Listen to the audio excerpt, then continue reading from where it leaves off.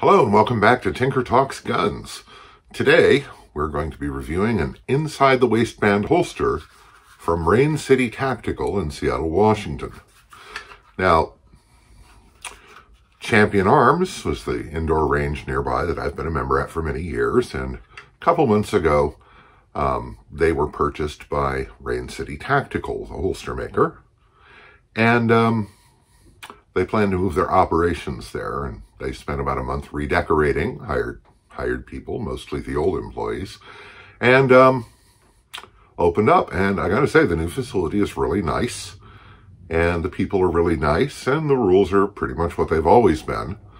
Um, they did offer to honor my membership until it expires in November, or for $99, I could upgrade my existing membership to get all the Rain City tactical benefits, which amounts to about 15% off holsters and 10% off other purchases. Um, now, I don't normally do Kydex, and it's not because I think there's anything wrong with Kydex. Um, it's because, generally speaking, I can't afford to buy a holster, and so I, and I have some very odd guns that I need holsters for. And I always have leather around because I make knife sheaths for the knives I make for a living. So, no Kydex holsters, but on the opening day the other week, I, uh, at Rain City Tactical, I sought out and sprung for a holster for my CZ P-07, an inside the waistband holster. I haven't used inside the waistband holsters for some time because I don't like leather inside the waist holsters because they collapse. But I thought I'd try this, and uh, I gotta say I'm favorably impressed. It holds the gun very nicely, very securely. It's very fast on the draw, and because of its various features, it holds the gun in very tight so that it conceals very well. So here we are up close and personal with the Rain City Tactical Kydex holster and my CZ P-07, which I will unload the show clear. You can see nothing in the hole, no magazine. So, uh, the holster uses, in this case, a uh, sort of carbon fiber looking Kydex, which, yippee, I neither object to nor uh, particularly favor it.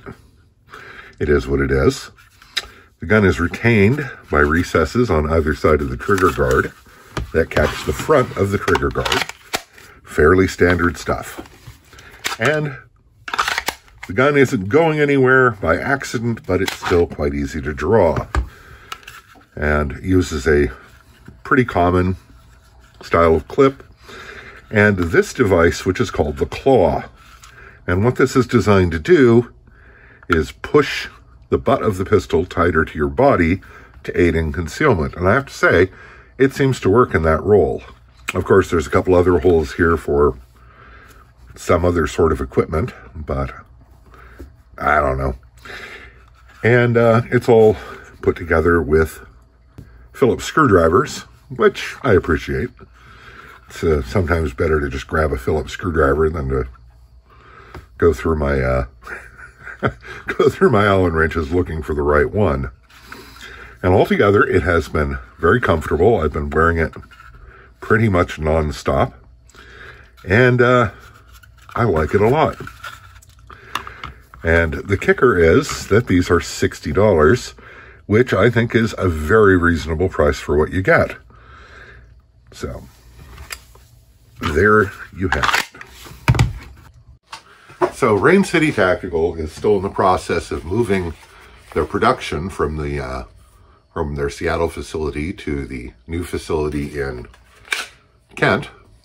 And, um, but I am told that they will be taking on custom orders if you have an unusual gun.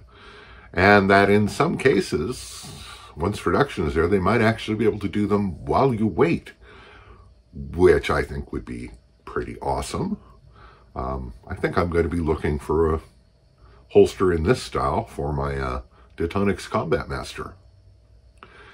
Uh, so anyway, uh, good holster, good price. Pretty much everything I want it to do, it does just great.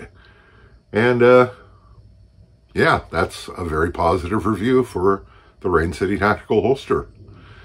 And uh, I gotta say, I like what they've done with the shooting range too.